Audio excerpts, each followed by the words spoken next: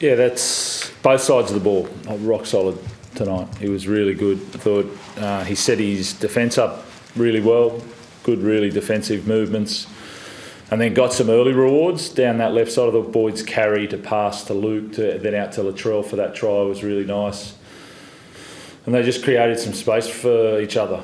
All four of them out there had a, had a really big day. And then, um, but then he got a defensive try on the back end of it just because of his movements. I think I said uh, he shut down Esan Marsters the set before. I think Robbie came back against the grain through a really long ball, and that usually can spark an opportunity. Latrell shut it down, and then he was in the same position on the next set and ends up running 60 metres to score the try. So I think that's when Latrell's at his best. He's balanced between both attack and defence, and that's why he has a high, high quality game like that. I don't know how many points he scored in the end, but even goal kicking was, was really good. 26. 26, yeah. It's um, yeah, it's really rewarding. I think you know I got some ask ask some questions about him yesterday, and then um, just about where he's at and how's he going because he mentioned it last week, and then um, doesn't train Tuesday, and then comes out and and delivers uh, a high quality game, high high quality game. It looked like it was almost a, a weight off his shoulders. That first try, he really celebrated.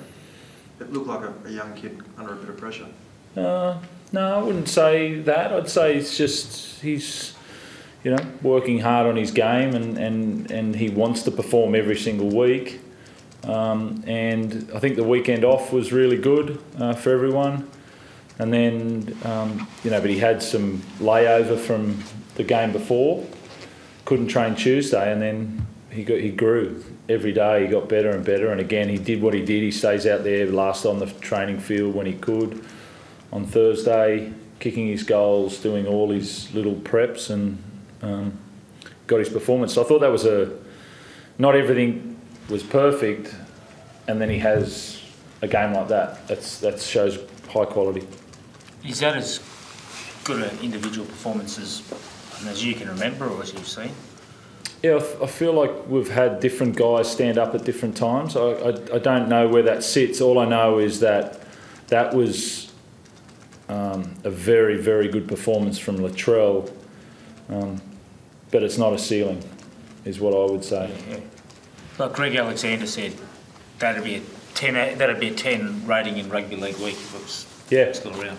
Yeah, I remember Peter Sterling getting. I remember when he got that very often. No, if it was uh, yeah the rugby league week, ten out of ten it would be, and I think um, that's a Latrell nine out of ten. He, you know, he's, he's, he's not finished. He's 21. Um, he's a hungry man, so that he'll he'll decide. But that's it's a real credit to him to play like that.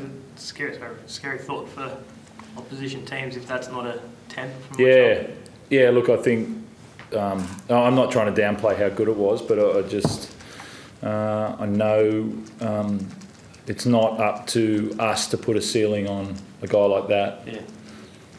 You're saying what you're saying is he's 21 years old and he can get even better. Yeah, yeah. Look, I'm not. Um, I think uh, I won't throw out names because that that will uh, catch fire. But there's a lot of players in sport around the world that have done things for a long, long time and performed at the high level, and people think that it's um, quite special and that, that the, the consistency of high level performance and you create new norms.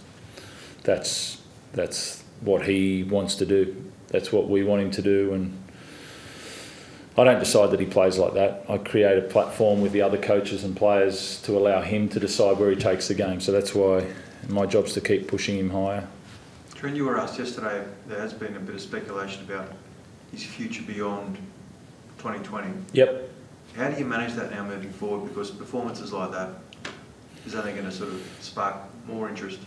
To be honest, I, I honestly don't give it air.